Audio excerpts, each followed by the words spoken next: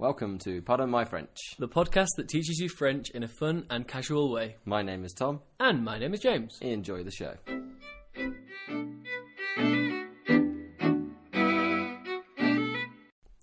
Dun, dun, dun, dun. Dun, dun, dun, dun, dun. Dun, dun, dun, dun.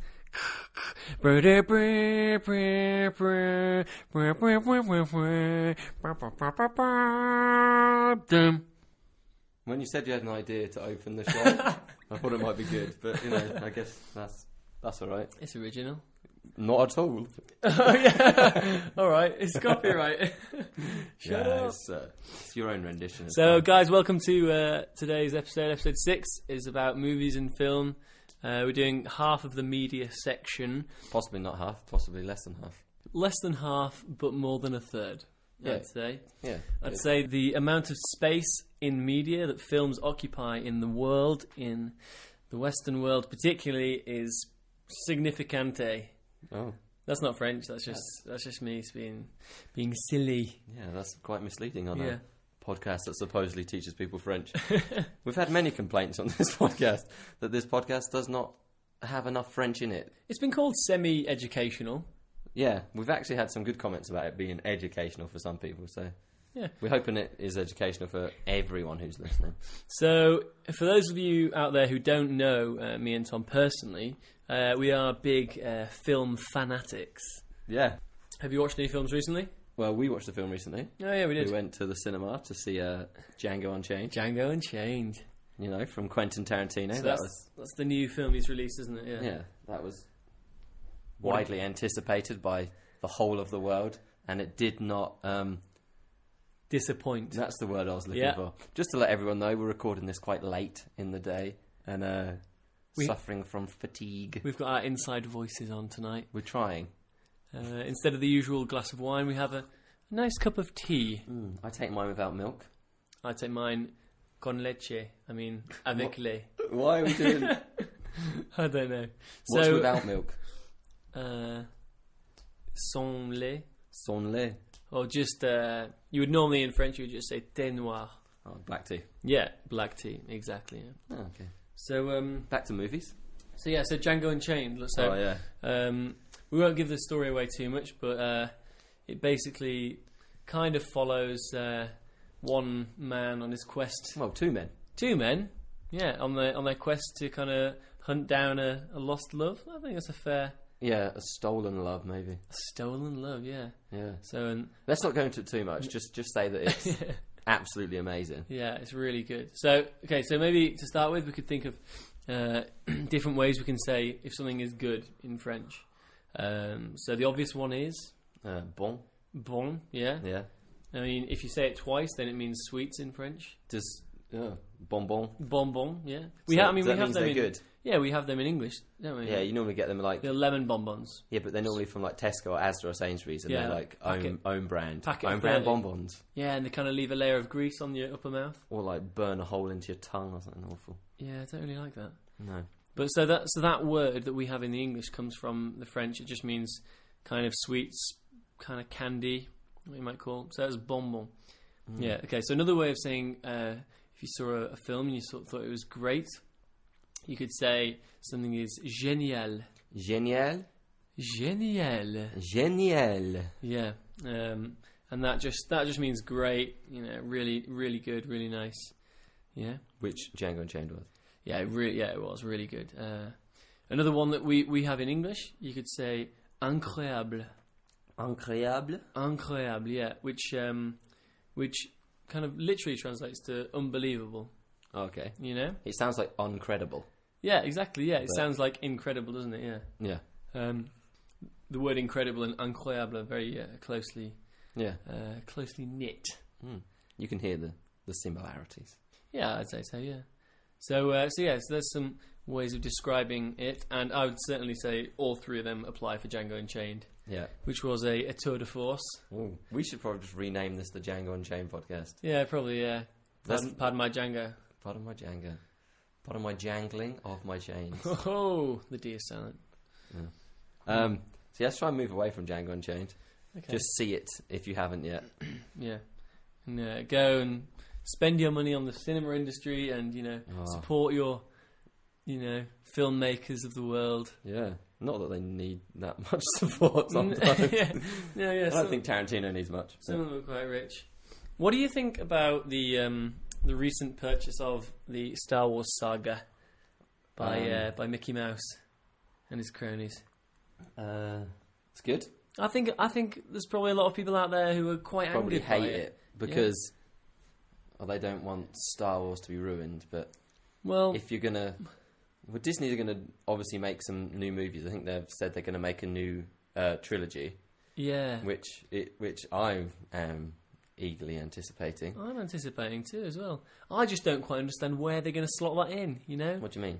is it going to be is it going to be kind of a, a reconciled Doesn't Va- Vader and doesn't matter. Vader They've got all the rights you know, that they could do whatever they liked. that's true. But they I could mean, kill off every character and And- rewrite new ones, and it'd still be Star Wars, and it'd still be They could call it Star Wars Four, no whatever. Star Wars four. Eight, that was the first one. what, Star Wars Nine, No, it'd be Star Wars Seven Star Wars Seven. or Star Cool. Wars Negative One. Shut up. okay, they could call it that, and then they could just make another Toy Story. It could just be Pixar, you know. but they could just call it uh, Star Wars. but they have it all as like like animated uh, character like toys, It could be the life of Buzz Lightyear before he uh, crash landed on Earth. which was part of Star. They would blatantly get a little Yeah, Buzz his Lightyear quest reference against- in there. Emperor Zurg. But is is is Di- is Toy Story Disney? I thought it was just Pixar. yeah, it's Disney Pixar. Sure. I'm pretty sure. Yeah. All right. I was in um, I was in Disneyland Paris a couple of years ago with my uh, with my older brother.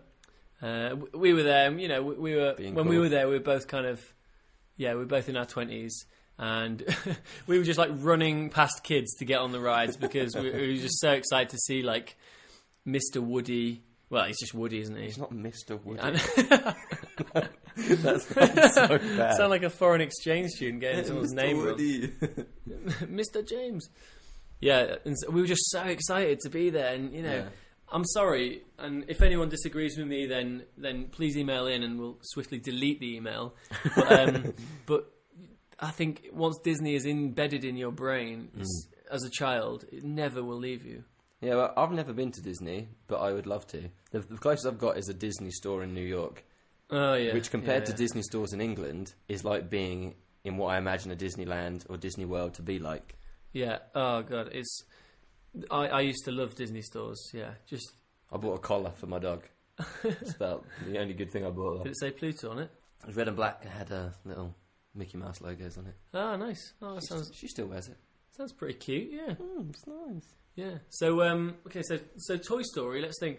So um so let's break down those words. So uh story in French. I think we've already done it in one of the podcasts is uh, the word is histoire. Histoire. Yeah. Like the history. So like the history of something, yeah. And t- a toy is just uh, jouet. Like a play thing. Yeah, it's kind of like that, yeah, and it's uh, spelled J O U E T. Okay. So uh, that's another film, E T. Ooh. Uh, but we'll, we'll, we'll come back to that. Uh, maybe. Unharmed. What's that you want from Yorkshire? Unharmed, lad. I would man, but I've run out of credit on me on me Finger's too big to dial. I need some kind of dialing wand, some kind of stylus. Why did I buy this BlackBerry on me on my home planet? It's rubbish. I can't get signal here. signal here back on Earth. Can I borrow your phone? Enough ET jokes. yeah, I know, yeah. Um, okay, what about the Lion King? You know that in Fre- in French? Um, no, not at all. So the Lion King in French is uh, le le roi de lion. So that's the king of. Oh, the- it's just le roi lion. Le Roi? Le roi with an R. Roi Roi. lion. Lion. And Okay. roi means king, Yeah. of course, and that's where we get the word royal. Oh, okay. Okay, so it's like roi and then royal. So Ah, it's, okay, yeah. royal is something to do with the king. Yeah, obviously. Uh, yeah, and but of course that now Yeah. means king and queen. Um, so yeah, it's quite interesting. You never call the, the a lion the queen of the jungle, though. That has different implications. No, yeah, yeah, it would sound a bit. Always the queen of the jungle. yeah, yeah, kind of wham-esque. Yeah. Yeah, but well, no, the, the, Big the, Wham the family, word for so. queen Yeah. um, in French is la reine. La reine, La reine, yeah. like to reign. yeah, like like the reign of someone on the Yeah. throne. Yeah, and throne in French is trône. Trône.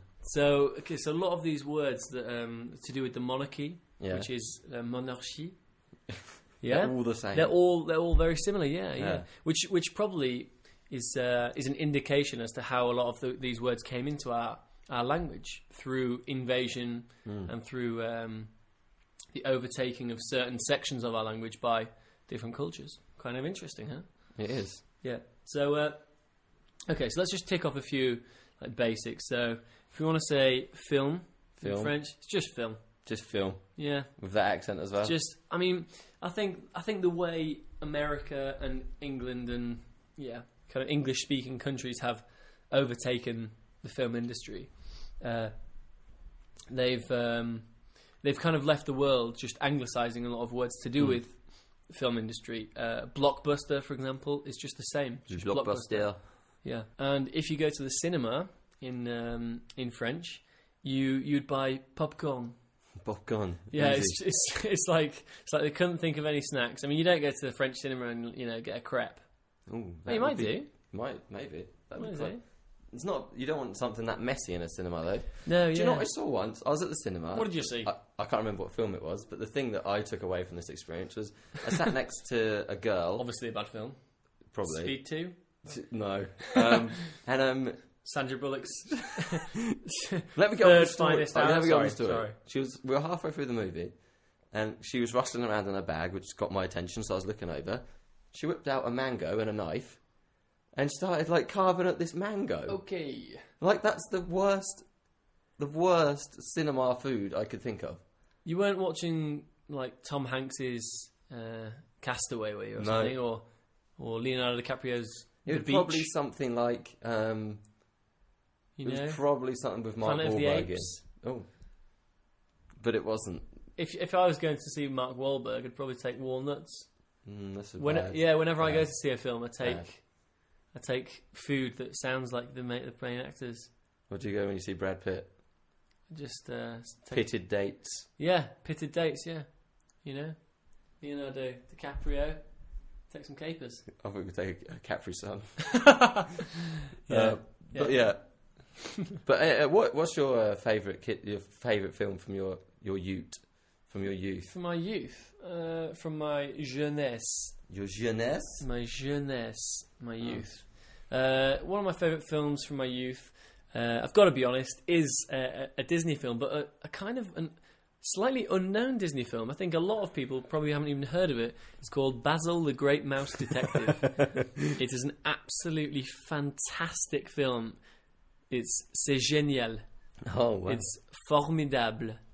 That's another one. That's another Yeah, one. very formidable. Yeah. you know. It's one I've also seen, but I uh, probably only saw it once or twice, so I haven't got this like love affair that you have with Oh my god, it's Basil. it's absolutely incredible for listeners out there. If if you want a kind of a, a, film education, effectively, then you have to see this film because it's If oh, you it's see one film it's breathtaking. in your lifetime, This see is the. Basil, the Great Mouse Detective. Is that what it's called? yeah, effectively, it's uh, it's Don't Dis- give away the plot. okay, fine. It's Disney's take on Sherlock Holmes, and uh, and so it's basically a small mouse wearing like a Sherlock Holmesy esque hat. What is And called? with a little- deer stalker. Yeah, I think so. Yeah, and a little kind of chubby mouse counterpart, and yeah, they get get into some capers again. Not the- not the fish. Um, Mm, nice. uh, yeah, it's great. Uh, it's really really good. Is a caper a fish? I think so. Yeah, I thought it was like a little ball.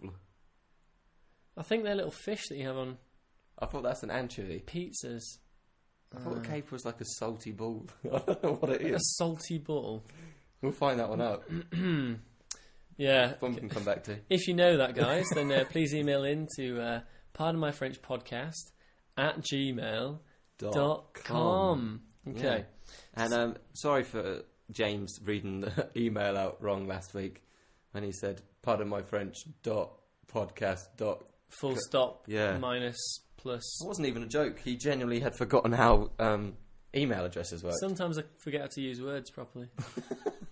Yeah, it's true. Yeah, it's de- very true, very true. So, um, okay, so we've got um, a film. Uh, that was just un film. Uh, but we have to make sure we don't confuse the word film like a movie with the word film like, say, a thin film of a thin film of oil.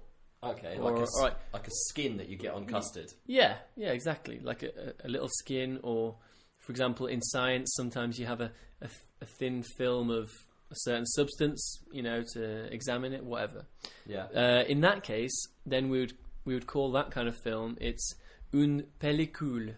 Une pellicule. Pellicule, yeah. Pellicule. Okay, and that basically is uh, indicating more closely a kind of yeah, it's, it's more a reference to a thin strip of something or a thin layer. Okay, in in fact, in in uh, in Spanish, you would say a película for for a film like a movie. Okay. So so you see how there's there's lots of overlap Yeah. with this word, but um, a nice little mnemonic I thought of uh, for this word for Mhm. une pellicule is uh, I've even drawn a little sketch. Can you describe this this Um, kind of sketch the- I've drawn? The sketch is of what looks like a duck with a large beak and sunglasses, but I'm assuming it's meant to be a pelican Yes, exactly. And why is he wearing sunglasses? because he's cool. Because he's cool as a dude. Cool as duck. cool as duck, yeah. In fact, he's cool as a cucumber. And cucumber in French is concombre. Concombre. Concombre. Yeah, exactly. Nice word. It's nice, huh? Um, so yeah, so that's a little mnemonic. Just imagine a little little pelican wearing some shades, and he's he's pelly cool. You know, cool. he's pelly cool, man. Daddy cool. Yeah. So uh, so yeah. So Tom, tell me more about your uh, film upbringing. When did you first get hooked on movies? The first movie I ever saw at the cinema was The Jungle Book. Ah, yes. And I was pretty. Um, I think my dad took me one Saturday morning or something, and um, I still remember it. And I still have like, I don't know if this is a thing that used to happen, but like a program. You know, when you, you go to the football and you get like a program Yes, I that now remember that very costs the earth that used to be affordable. But I Mhm. have like a the program from the movie. I imagine it was just something that was on the side when I went, and I Yeah. still have it from when I Wow. was like, I can't remember five, You six. should, you should frame that, sell it. It's in a box somewhere. I know I own it, but I won't throw it away. I haven't got a clue where it is. Either sell it for a lot of money or keep it for the emotional.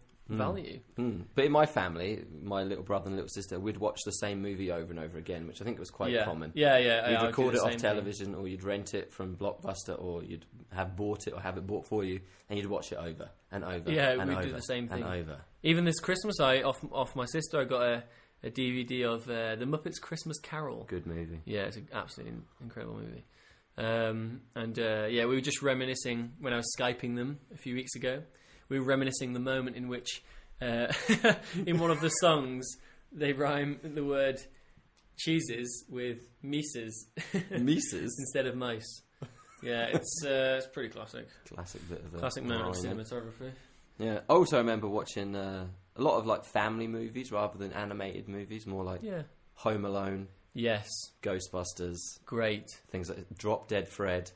Don't think I've seen that one. Rik Mayall is like an imaginary friend, Okay. and it is amazing. Sounds a bit. Uh, if of all the of all the uh, you know Hollywood actors to have as my imaginary friend, I think I wouldn't put Rik Mayall at the top. He's a complete fool. I find him a bit creepy as a He was very as a, as a kind of an imaginary ghost counterpart. It was it was quite scary at times. I think if I had a ghost counterpart or kind of imaginary Celebrity friend, one. celebrity, I don't know. I'd probably go for someone like Morgan Freeman or someone, someone very reassuring. Someone who could narrate your life. Yeah, yeah, yeah.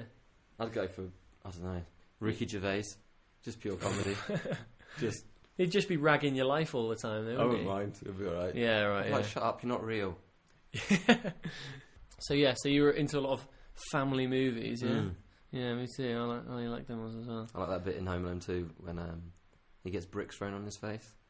Which in a lot of the versions they show on TV, they cut it out. Oh, do they? Yeah, because it's quite brutal. Some Yeah. kid hurling bricks at people. I never understood how the villains didn't die very, very painful deaths He didn't like shoot them films.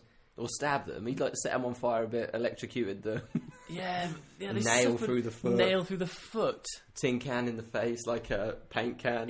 yeah, I think at one point they receive a, a, a large blow to the head via a log swinging down from a stairwell. Yeah, that's like the thing. That's in Home Alone too. Because in the first one, he just does two uh, uh, paint cans Yeah. and smash them. Yeah, you're right. Then in the second one, he does it again. They're like, "Oh, we know what's happening." They miss it, and he throws like a big like metal bar, like, like a it. very heavy cast iron metal bar. Yeah. I don't know how we put that up. And I'm pretty sure at the end of Home Alone 2, they actually fall from a, a burning rope or something Yeah. onto kind of basically concrete no, no, or fall, like a metal bin through like wood that's been set up, and there's loads of paint on it as well. And they fall through the wood, then hit the concrete, and all the paint goes off in the air, then hits Ah. them again.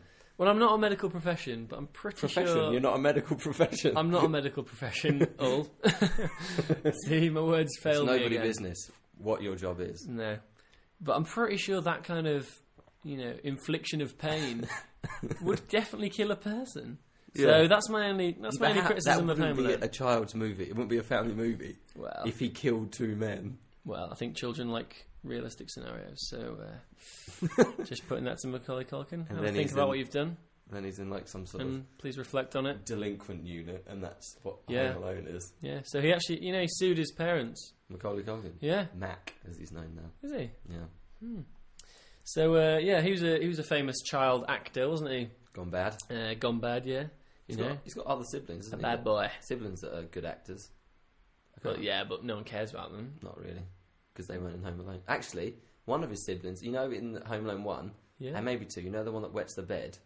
no, but He's yeah, got the big glasses on. I can't remember what they call him, but he's like the geek that like drinks all the Pepsi and Coke or something. That's actually his brother. Oh, right. Little fact. Sounds a for bit you. like you.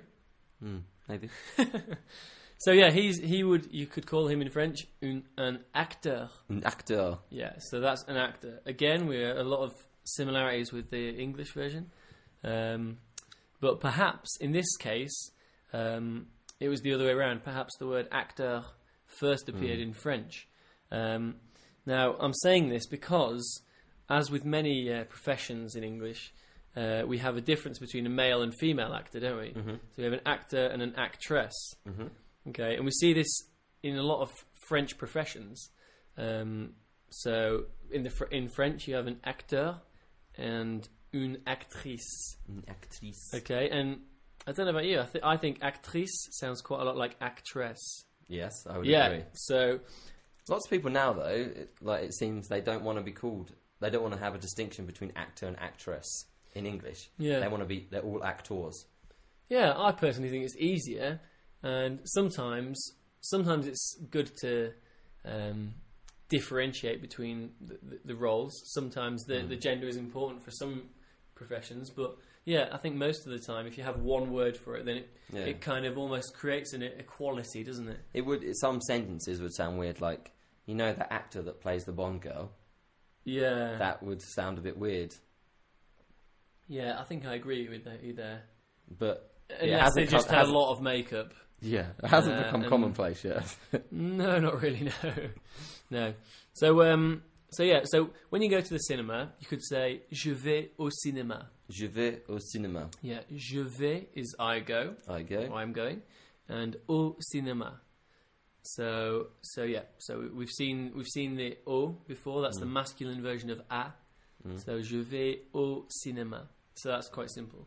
Mm. And um, and we would normally say to to watch a film is regarder Regarder regarder un film. un film. Okay.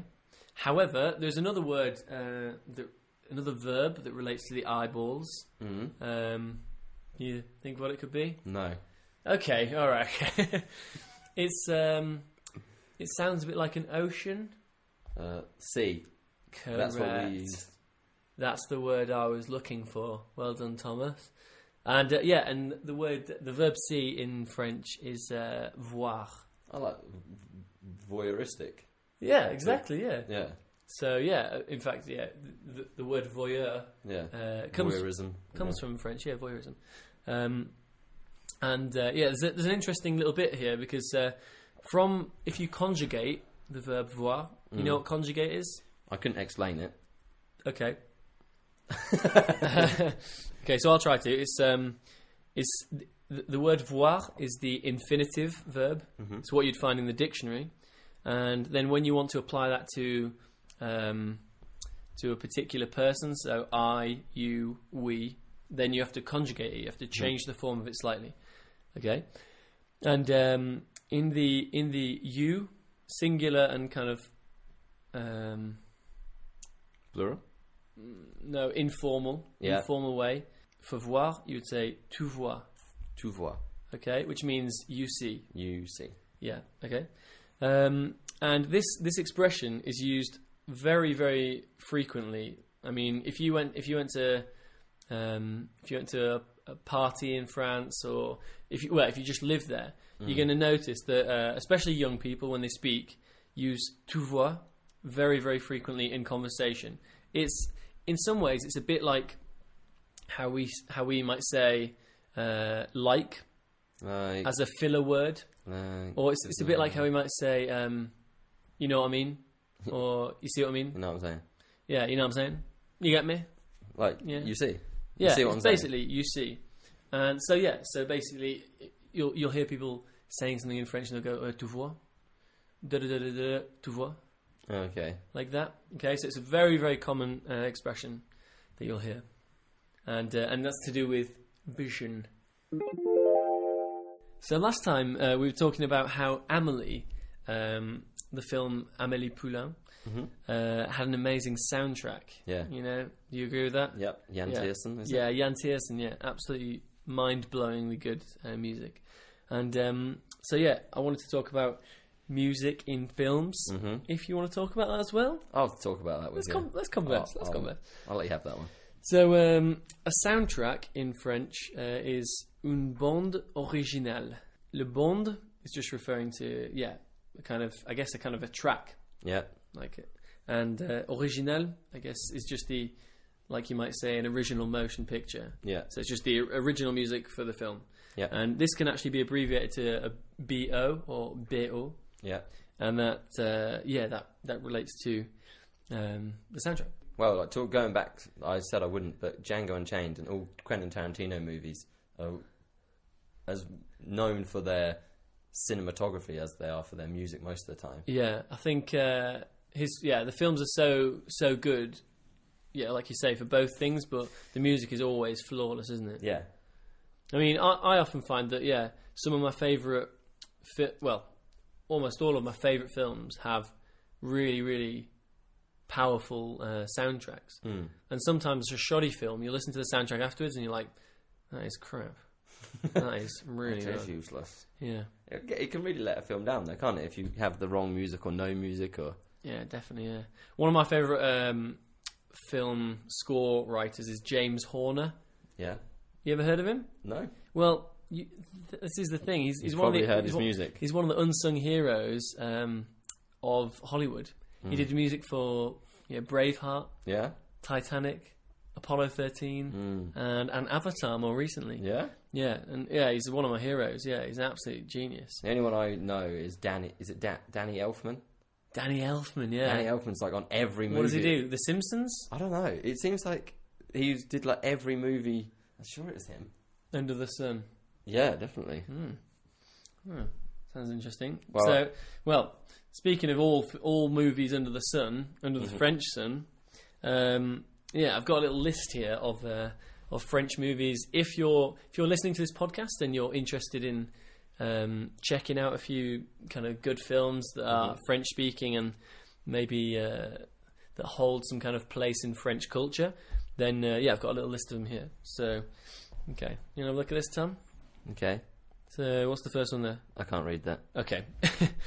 so the first one I wrote down was uh, Les Choristes, Le um, which is a which is a really uh, really nice story about a kind of a little choir yeah, that forms, and it's it's it's kind of set in in wartime France, yeah. and it's yeah it's very very moving and everything like that. It's, it's a very very well known and very good film to watch. So it's just tips for people to like get a watch a good French movie, put some Yeah. English subtitles on, Yeah, and try yeah, and yeah. soak in the language. Yeah, for me personally, yeah, when I was learning French, I would every couple of couple of weeks, every quinze jours, I would try and rent out a a um, a film from a local language center and watch it either with English or French subtitles. Yeah, yeah, because watching in French is useful too. Yeah, Uh, so another one I wrote down here is La La Haine.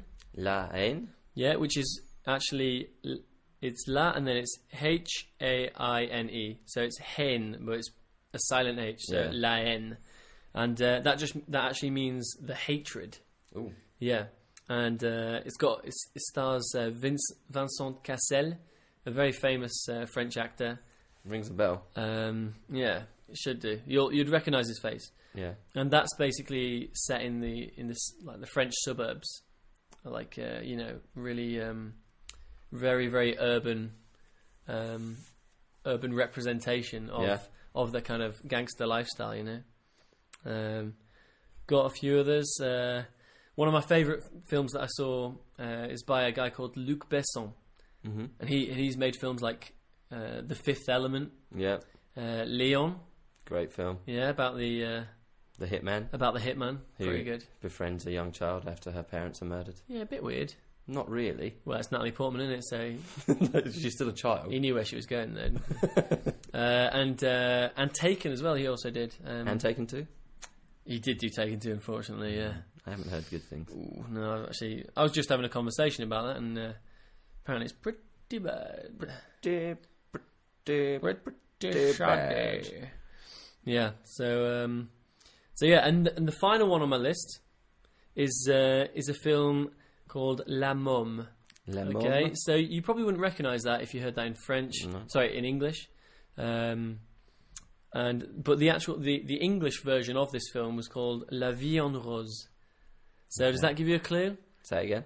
La Vie en Rose. Something about uh, pink or Well, yeah, you, yeah, you, yeah. You're kind of on the right lines. life.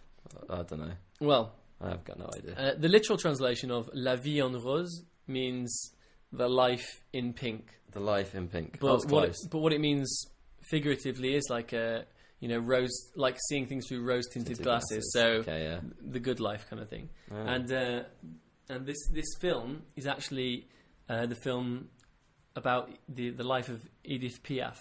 Mhm. You know the uh, the singer. And uh, and yeah, and so the French version of this film is La Môme, which was actually her nickname, her French nickname uh, back in the day when she was, you know, big, not not fat, But you know, just you Big know, in the game. yeah, famous, famous, yeah. And uh, yeah, and and la môme in French means sparrow, or in in, in her sense is like a little sparrow. hmm It's a very endearing uh, word, very Mhm. name for a nickname. Um, interestingly, actually, the word nickname in Mm. French is uh, surnom. Surnom. Yeah, which sounds a bit like surname, surname, doesn't yeah. it? But uh, I don't know if you've ever found this confusing. If you've ever been filling out a form or something in a French-speaking country, and you see the word nom, And that means. and you write down your full name Yeah. or at least your first name, And then you. see, and then you see Prénom. prénom. Yeah. Okay, so it's, there's there's a little bit of confusion there. That's uh, what you might call a, a faux ami, which I is remember one of them. Remember I what it is? No, because it was that the first episode. Yeah, yeah, It was Uh, a fake mean- friend. a false friend. Yeah, false yeah. friend. So you've got nom is your surname, Yeah. prénom is your first name, Yeah. and surnom is your nickname. Yeah. Yeah. Do you have a nickname? Mm, not one that I'd like to call myself. I might have one that people. I have a few for you. I haven't actually told you them. Go on. Things like, don't know, chubby cheeks, Well, big nose. Just to let everyone know, a little update. I'm a little slimmer. I know it's only been a week, but I'm a little slimmer. I'm not going to lie. I probably wasn't going to bring those nicknames up because I did actually notice that. Thanks very much. Hit Yeah. the gym, guys. So I heard you in the gym the other day. Yeah, grunting. Yeah, grunting, snorting. I think at Like that that. point you were actually taking a break and you were Just ha- like noshing down on a packet of uh, butter Hobnobs. on a bit of popcorn. Yeah, maybe. Hobnobs, what are they? Chocolate coated. Yeah, that's right. Um, I've got some other films, by the way. Oh yeah, Great French film, Ratatouille.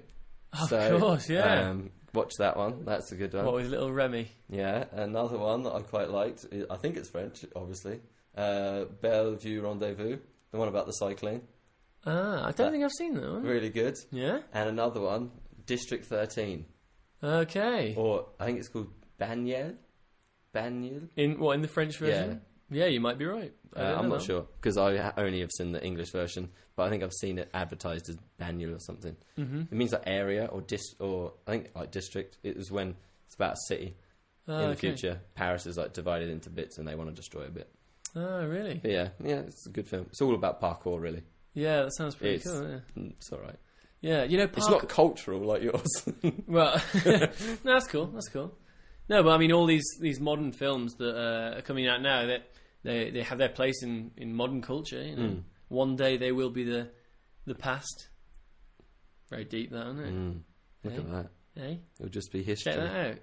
It'll just be a, Check me out with my philosophy. not really. No, Carry Well, on. Well, the word parkour, which you brought up before, is kind of it's kind of like free running, isn't it? It's a, We could get into this, and I would mm. debate it for a while. Okay, yeah. So it's it's kind of like running about cities, like jumping on stuff, well, more or less. It's more. It's more about from getting from one place A to place B Okay. in the quickest way possible. So it's kind of like finding a route. Yeah. Am I right? Yeah. Well, it's interesting that because in French the word for a route is a parcours, A route in what sense? as in a route from A to B. So your route f- from your house to work would be Yeah, the, it'd be called um, parcours. okay. Yeah. For example, when I ran the Paris Marathon a couple of years ago, um, ah, no need for that. Okay, you can do a bit more actually. Okay, no need for that. Um, yeah, I, I would look online and I was looking for the uh, the parcours Mhm. du marathon. Okay. Okay, and that was the route of the marathon. So, Yeah. so the word parkour, which we now spell with a K, am I right? Well, Uh, P it's like P A R park K. hour, isn't it? Yeah, something like that. Yeah, um, actually, yeah, it comes from the French word meaning a route. Yeah. Yeah, parcours. So it makes sense for it to be the direct place from A to B, Yeah, which is why it's different to free running. Yeah, yeah. free running frozen backflips and stuff like that, Oh, which is yeah. unnecessary if you're trying to get from Yeah. A to B. Surplus energy, isn't it? Really, Mm. surplus It's activity. just showing off. Yeah, If I could do it though, I would be doing it all the time. But it should involve a lot of running because um, the word parcours Mm. uh, again is a is a conjugation of the verb parcourir. hmm uh, which which kind of means to cover ground, to travel a bit of a distance.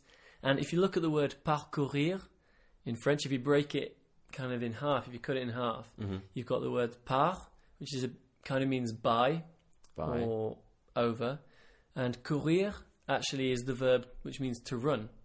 Okay. Okay, and so what you what you're getting here is that the verb is kind of Okay. is, is kind of a construction of ov- by running over, hmm and that and that equals the verb to cover distance. Okay. Yeah. Yeah. So so interestingly, the the word parkour or the English parkour, hmm running around the city, um, has the word running within it. That's clever. So it's quite interesting, huh? So it makes sense. Parkour's meaning makes a lot more sense now Yeah, exactly. when you yeah. take it from the French rather than just Yeah. some English word that people think means backflipping off stuff. Exactly, yeah. I'd like to say that free running comes from the French, but it doesn't. They probably are the best at it. Yeah. Sebastian Foucan and David Belle and people. Yeah. They're they're the best. There's that Spider-Man guy who climbs up buildings. He's French. Yeah, he's got like a he has like a climbing wall in his house. Like he like climbs over his bed.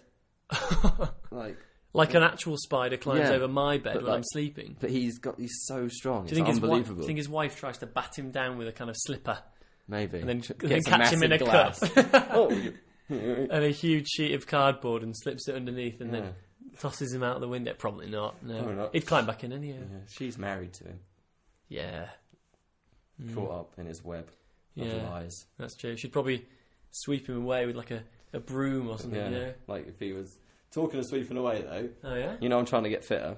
Uh huh. Yeah. You know, I do know that touched on well, this, yeah. but we I It's was, very touchy subject, isn't it? we were looking into it, weren't we earlier? That we here we could do some curling Oh yeah, yeah. if we were, got yeah. enough friends together. We've got we've got. enough we friends. have only maybe one or two friends who Yeah. would be willing to curl with us. Okay. is that is that what you say? Yeah, You want to come and curl with me? come on, brush, brush some ice really quickly. Brush some ice.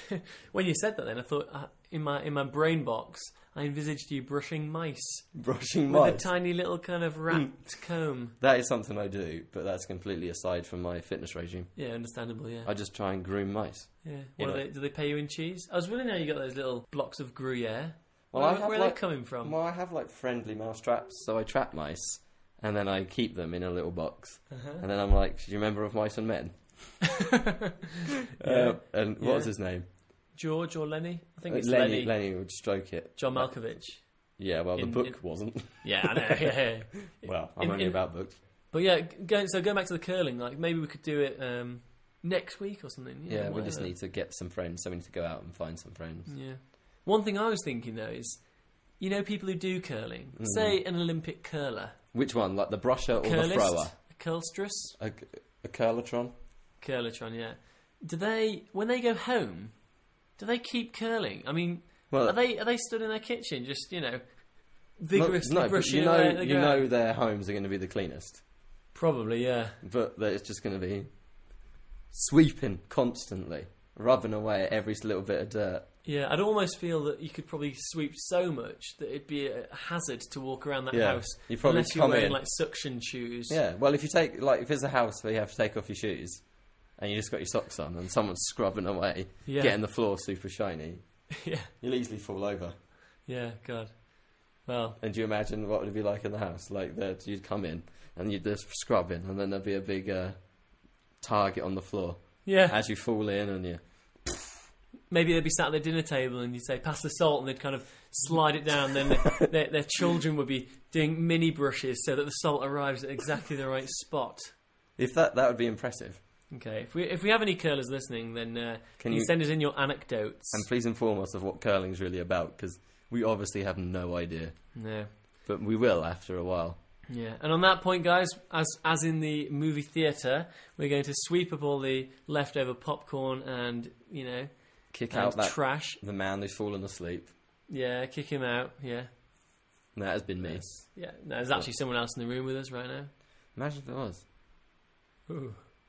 The person who lives next door. What? It's Morgan Freeman, my imaginary friend. Yeah, I was going to talk about Zara. Actually, we might be keeping her awake, as it is one o'clock in the morning now. it's dedication, guys. Okay, so that's Bonne Nuit from uh, from Tom and I. Uh, I hope you've enjoyed the this this episode about films, and next week we'll be doing uh, something on part two of our media special. We'll be doing about music and maybe some other media uh, sources might creep in there. Yeah, hopefully. So now we're on track for weekly podcasts, one every week, hopefully now for a couple of months. Um, if- so if you want to contact us or just let us know anything that you have on your brains, contact us at Pardon my, My French, French podcast podcast at at gmail dot gmail.com. com. or get us on Facebook. Uh, just search "Pardon My French." And if you already have liked our page, just go check it now and then because it doesn't seem to want to tell you about our new cool stuff that we're posting on it. Exactly. So from Tom and I here in Switzerland, à la prochaine.